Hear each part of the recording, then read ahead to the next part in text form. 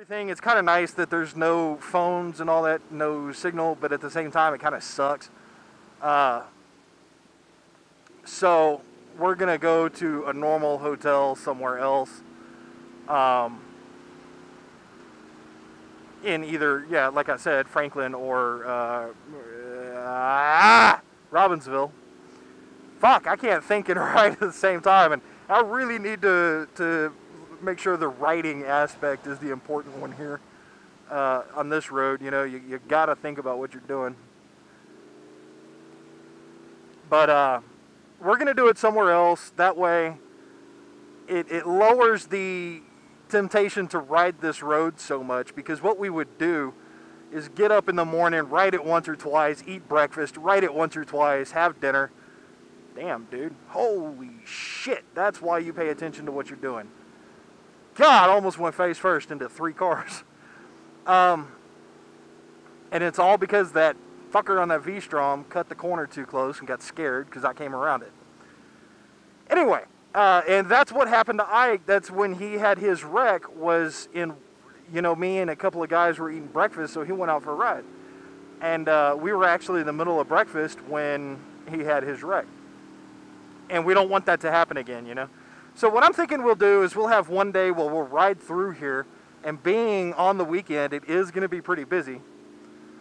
But we can stop at the hotel and hang out and kill an hour or so, which is enough time for people to ride up to the Outlook and back once, uh, maybe twice, just kind of depends on the group vibe.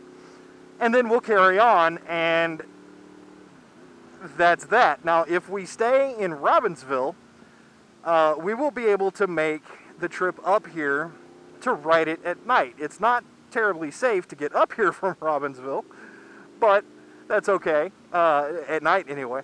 And riding this bitch at night is fucking terrifying, but it is so much fun. Um, I think I'm gonna come and ride up to the Overlook tonight, actually. Uh, you can't see shit, and I think that's kind of what makes it fun. But we might be able to schedule something like that.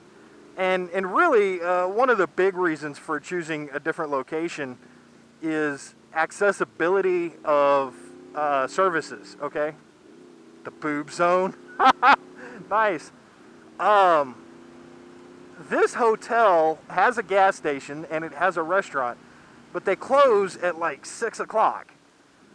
Uh, they might be open a little bit later than that now, but I the last time I remember checking, it was like 6 o'clock that they closed. And that's it. You know, there's nothing for half an hour. And you end up having to fight to get back in time to gas up so you can ride in the afternoon and, and have time to eat and all that. That was Terry. Uh, just so you, just because shit closes, you know. So I don't really want to be hindered by the restaurant closing. It's much the same problem that we had at the hub. Uh, I want to be able to get back from the ride when we get back from the ride, not say, oh shit, we're going to be late It just doesn't make sense to me, you know? Uh, so we're going to do that. And I have no idea what's going to happen as far as the original Deals Gap meetup. I am not planning that one. I am not taking the name. I don't even have a name for this shit yet. Uh, if, uh, the last I heard, Lacey, uh, Twin Cult, I don't remember if it's Twin Cult 1 or 2. I don't really, honestly, I don't care. Uh, she is the, the closest thing that there is to an organizer right now. And she hadn't said much of anything about this year uh, that I've seen. And, hell, you know, maybe it's because she can't come. I don't know. But, point is, if she wants to, to organize something for next year, that's great. Uh, if not, that's great too, you know? I don't really care either way.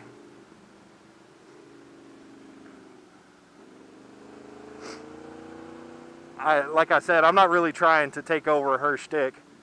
Um, I'm just trying to, to revive an idea that, that me and Brian had uh, six, five or six years ago in saying, let's get a bunch of vloggers into Deals Gap for a couple of days and have some fun, okay?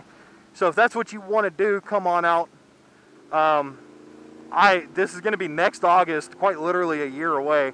So I'll come up with some hotel ideas in the next couple of months, I guess, and basically just keep you guys posted uh, as time goes.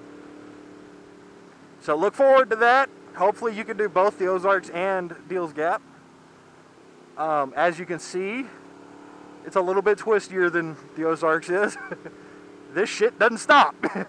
it's only 11 miles. It takes like half an hour to ride it. Uh, so yeah, you know, if you've never been here, you got to come out. You got to check it out. Uh, it's guaranteed to be a lot of fun. So I'm gonna leave it at that. Just mark your calendars for I don't know the first two weeks of August. uh, we'll it'll be a weekend somewhere in there. I guarantee it. Now I hope he doesn't take too long to uh, head back down because I gotta piss like a racehorse.